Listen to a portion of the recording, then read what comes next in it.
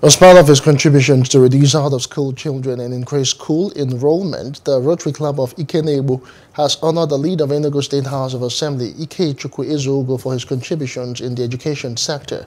Speaking at the presentation, the Rotary President of Ikenegbu, Ada Nwobara, called on well-meaning Nigerians to emulate Honorable Ezeugwu to reduce the rate of out-of-school children. I really appreciate this and uh, I have seen that uh, once you are in the limelight, the searchlight is on you. Sure. And it will only prepare you not to dim the light, but to do more. Because I always tell people that, just as uh, you said when you are speaking,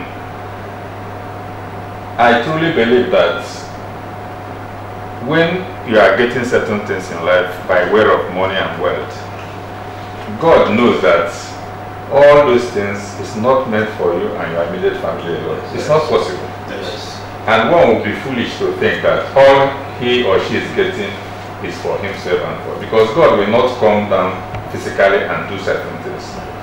He has to impact through a human being. And that's why Christ even had to come, came in form of a human being to really be able to do God's work.